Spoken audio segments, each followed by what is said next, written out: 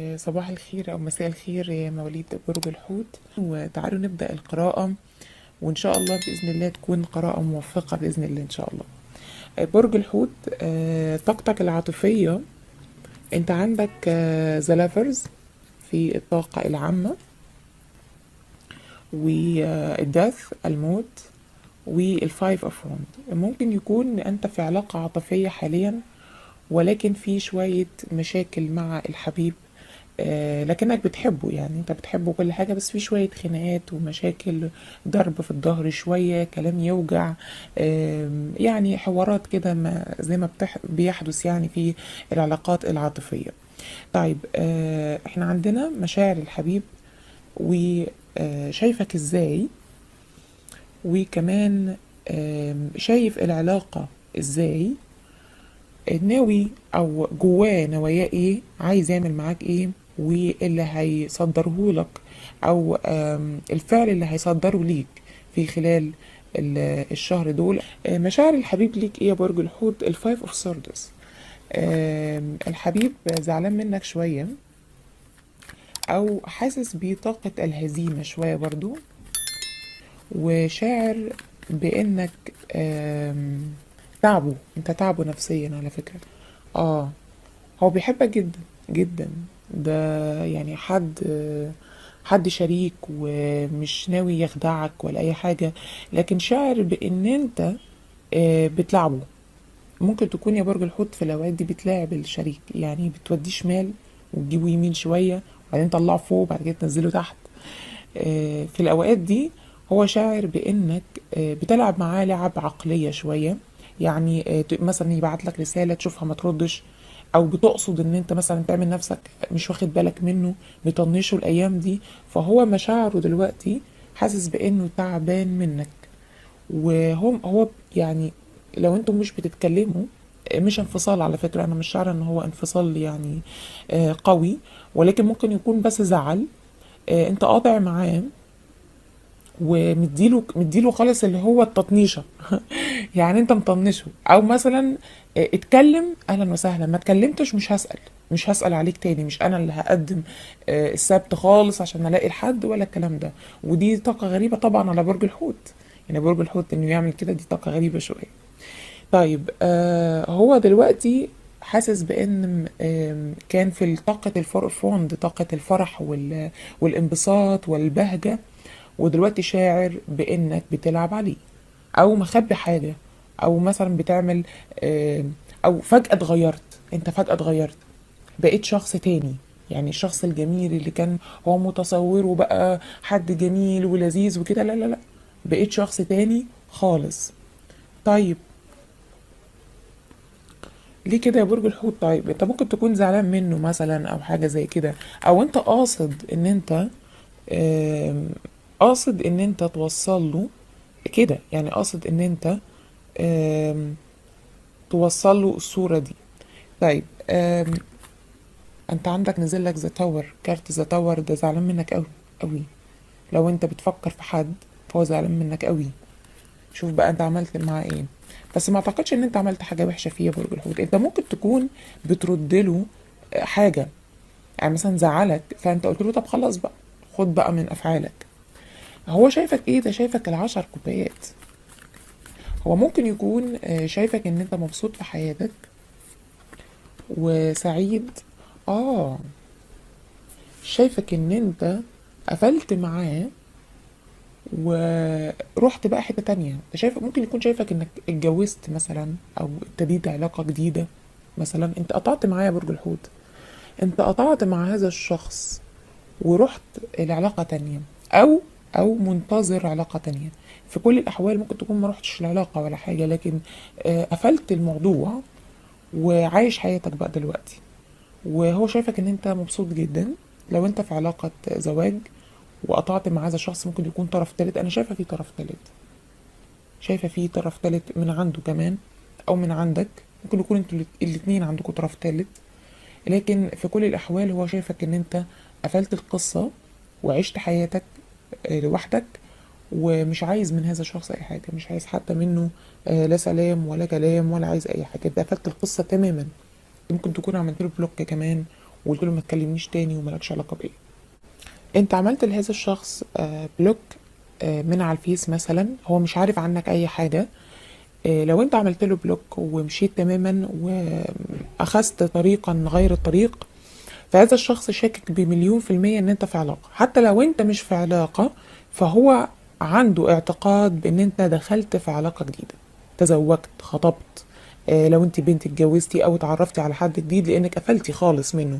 ممكن تكون أنت آه، آه، يعني قفلتي يعني قفلتي خلاص قفلتي العلاقة لكن ما دخلتيش في علاقة جديدة ولكنه شايف وشاعر بكده. شاعر بإن أنت دخلتي إلى علاقة جديدة. فهو شايفك في العشر كوبايات. يس 3 of pentacles. هي طلعت لك كمان اهي. أو طلعت لكم كمان بكلم دايما على ان أنثى اللي بتسمعني. آه هو شايف إن في طرف ثالث أو أنت رحتي آه أو أنت كمان رحت لحد ثالث خلاص قفلتوا الموضوع كله ورحت لحد تاني. طب هو هو شايف العلاقة إزاي؟ شايف العلاقة ال ace of wand هو يا إما شايف إن العلاقة آه باظت مثلا أو إنه شايف العلاقة فقدت الشغف بتاعها مثلا. هو بصراحة شايف يعني شايف العلاقة إن هي مثالية مثالية وكانت جميلة وكان فيها شغف آه وكان فيها حاجات حلوة كتير جدا. بالظبط. هو شايف شايفك إن أنت كنت بوشين. بصراحة بقى برج الحوت هذا الشخص. هتتقبل بقى مني الكلام أهلا وسهلا. شايفك إن أنت كنت بوشين معاه. وش الجميل السمح بتاع أنا شخص طيوب. واتجرحت كتير في الماضي و و و والوش التاني إنك بتهرب أنت هربت من هذا الشخص يا إما هربت منه يا إما قفلت الباب مرة واحدة يعني أنت كنت مثلا منيمه في العسل كده. أو إنك أخذت قرار الرحيل مرة واحدة حتى ما اديتلوش إنذار ممكن تكون صبرت عليه كتير وفجأة رحت. انسحبت من حياة هذا الشخص عملت له بلوك من كل حتة مش هشوفك تاني في حياتي. فهو شايفك إن إن العلاقة كانت حلوة جدا بس أنت مشيت. هو عايز يعرف أنت مشيت ليه. ممكن يكون هو كان بيعمل حاجات مش لطيفة آه، أو أنت كنت شاكك في هذا الشخص شاكك فيه شاكك في تصرفاته. مثلا كان بيعمل حاجات مش لطيفة معاك أو كده لذلك أنت أخذت ديلك في أسنانك وقلت إيه يا فكيك ومشيت. وسبت له الجمل بما حمل. هو شايفك إن أنت كانت العلاقة جميلة كان شايفها ال king of pentacles وال knight of cups يعني فيها حب وفيها اكتفاء و... واكتمال كل حاجة لكن أنت أخذت القرار آه، بالرحيل ومشيت. هو شاكك إن أنت مشيت لحد تاني. بأمانة يعني. طيب هو هو نيته إيه من داخله؟ هو تعبان جدا يا برج الحوت. جدا هذا الشخص. يعني ممكن يكون آه كان بيعاملك معاملة مثلا أنت شايفها مش سليمة أو كده آه لكن هو في طاقة ال nine of swords اما بيجي ينام بيبقى عايز يسأل نفسه مليون سؤال. آه ليه مشي؟ يا نهار أبيض يا برج الحوت. طلع لك ال eight of cups حد ماشي أهو وال four of swords بيفضل يفكر طول الليل. مشيت ليه؟ إيه إيه إيه, إيه ليه برج الحوت عمل معايا كده؟ ليه صدني؟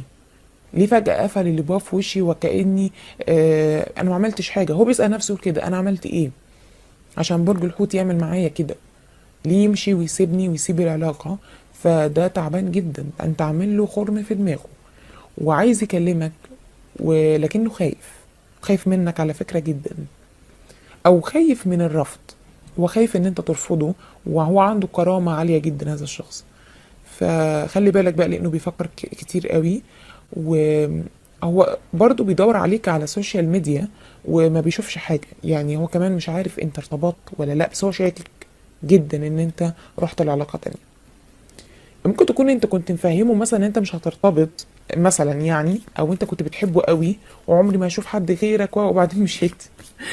هو برج الحوت آه، مش كذاب. برج الحوت مش كذاب. برج الحوت بالفعل لما بيحس حاجة بيقولها.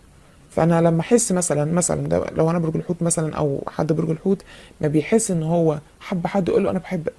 بس ممكن بكرة أكرهك مش عش... مش مش تغيير. لكنه آه، الظروف الظروف أجبرتني إن أنا أكرهك.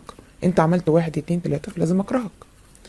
طيب بس برج الحوت ما بيكرهش يعني لمعلوماتكم آه هو عايز يعمل معاك إيه؟ آه في حقيقة الأمر هو عايز يتكلم معاك وعايز يجي يفهم عايز يجي يفهم ويحط النقط على الحروف زي ما بيقولوا. انت مشيت ليه؟ أو انت دخلت العلاقة من الأول ليه لما انت هتمشي؟ طب و و و و وكذا وكذا. وبعد كده هو ممكن يقفل العلاقة من عنده. آه، ممكن على فكرة وده أنا شاكة فيه آه، إن الشخص ده يكون عايز يرد كرامته مثلا في نقطة إن أنت قفلت العلاقة. خلينا نشوف كده.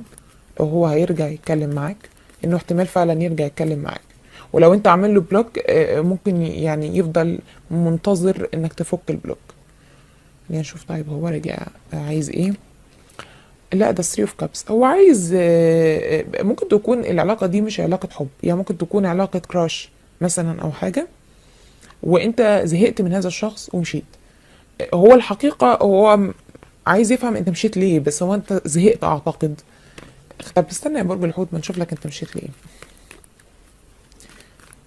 انت مشيت فعلا عشان رحت علاقة جديدة؟ أو ولا مشيت ل... يعني عايز توصله درس مثلا؟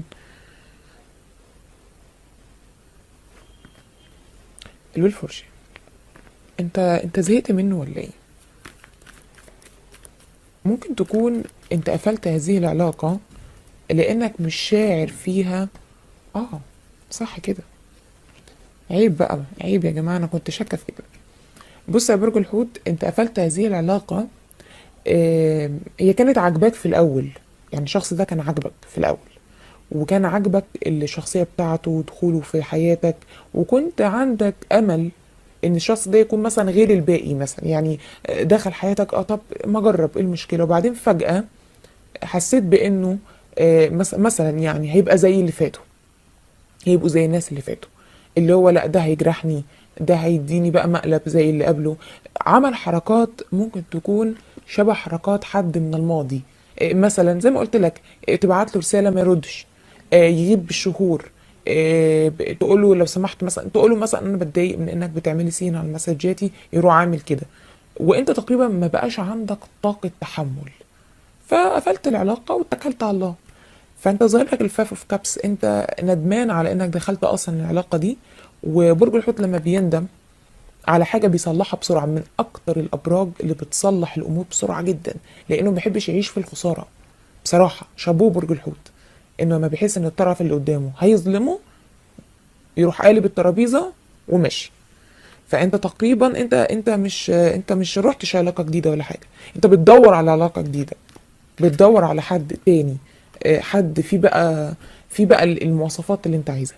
فهو احتمال يجي يكلمك أو هيفضل يراقبك شوية وبعد كده هيجي يكلمك. بس مش هيكلمك كلام حب. هو بس عايز يفهم إيه اللي حصل. على العموم لو أنت بتسأل هو عامل إيه هو في ال nine of pentacles ده هو يعني دلوقتي في عزه يعني. وحياته جميلة جدا. وواصل ل- لأعلى المراتب في شغله مثلا. وكل حياته جميلة وقاعد لوحده أهو. لو أنت شاكك إن هو ارتبط ولا حاجة. لا هو قاعد لوحده وبياخد قرارات في حياته. طب إحنا عايزين نعرف برضو الشخص ده آه، بيحبك ولا هو مجرد فقط يعني لو تعبك مثلا ممكن تكون أنت احترت معاه فمشيت. خلينا نشوف لك كده الشخص ده بيحبك ولا فقط معجب بيك.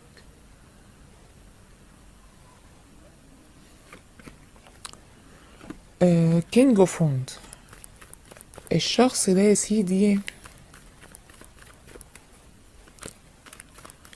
شك ان هو يعني لا هو مش بيحبك بصراحة بأمانة. هو مش بيحبك.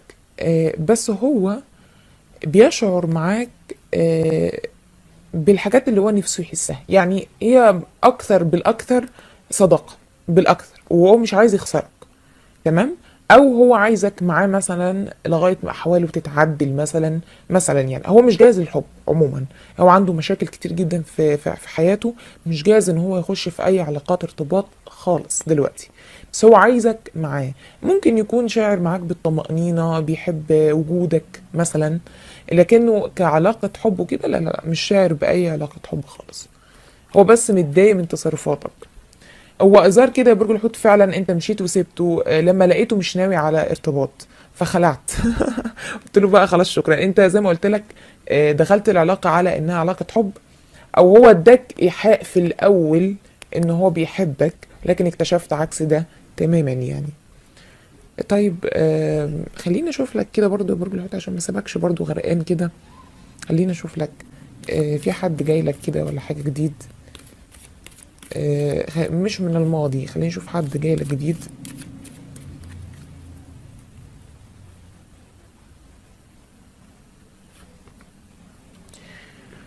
آه لا يا برج الحوت للأسف في الفترة دي مفيش حد جاي لك جديد. آه هتقضي بس الوقت ده كده لوحدك. آه يعني النصيحة ليك انت شايل حم يعني آه شايل حمل من الماضي كبير قوي. والظاهر كده ان انت كل ما بتخش في اي علاقة بتفتكر ما حدث لك في الماضي. آه برج الحوت النصيحة ليك آه انزع بالظبط والفرشاة خلاص بقى سيب بقى ال- العشر عصيان اللي انت شايلهم وماشي بيهم على كل علاقة كل حد يقابلك في حياتك تروح حاطط العشر عصيان قدامه. لا اهرب بقى من الماضي. أنا عايز أقول لك نصيحتك في الفترة دي الحبة دول اهرب من الماضي اهرب منه. أنا عارفة إن أنت تعبان آه، برضو الحجر الصحي والحاجات دي والكورونا وكده ولكن الماضي مش هيرجع تاني. يعني خلاص الشخص اللي تركك في الماضي بالآلام وبالأحزان و و و خلاص مش هيرجع تاني هذا الشخص. يعني مش هيرجع تاني سواء إن أنت كنت مستنيه يأذيك تاني أو حاجة لا لا لا لا مفيش أي أذى من الماضي تاني. فلو سمحت آه، انزع همومك وابدأ بقى بشيء جديد. والفورشن كمان معناها آه، اترك آه، آه، الأمر لله. سيب بقى كل الحاجة لله بقى.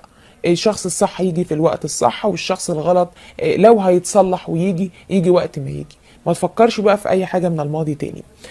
نصيحتك مع هذا الشخص إيه؟ لو حد طيب حد ممكن يكون يقول لي مثلا طب أعمل إيه مع هذا الشخص؟ أرجع أكلمه تاني؟ لأن هو كمان هو متضايق يعني هو كمان متضايق. فخلينا نشوف طيب تعمل معاه إيه يا برج الحوت؟ أنا من وجهة نظري إن أنت آه، ممكن ترجع تكلمه تاني. من وجهة نظري يعني ال ten of swords برج الحوت أنت مش عايز تكلم هذا الشخص أعتقد أو أنت م... ده أنت مش عايز تشوفه خالص يا برج الحوت. معقول؟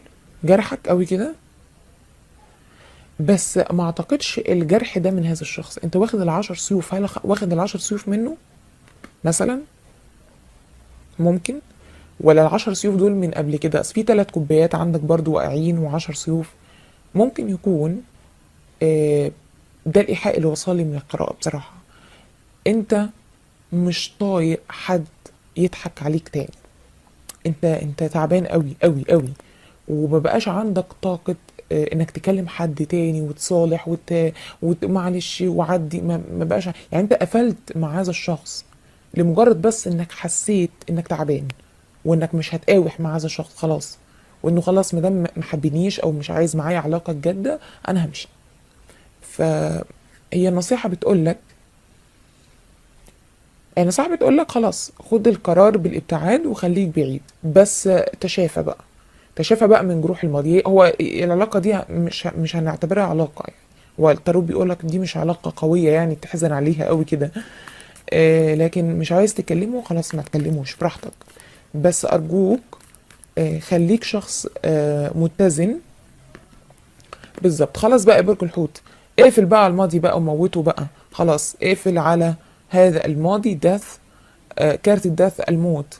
وال knight of wand خليك آه شجاع بقى. خد القرار وادخل الحياة الجديدة. مش لازم الحياة الجديدة يكون فيها الشخص ده خالص. لكن الشخص ده زعلان منك جدا. فممكن تكلمه وتفهمه وجهة نظرك إن أنت ما بتحبش اللف والدوران والح- والحوارات دي كلها وأنا مشيت واحد اتنين تلاتة. فقط لا غير يعني. هو بس عايز يفهم سبب رحيلك المفاجئ ليه قفلت معاه بالسرعة دي. فبرج الحوت أتمنى ليكوا إن شاء الله بإذن الله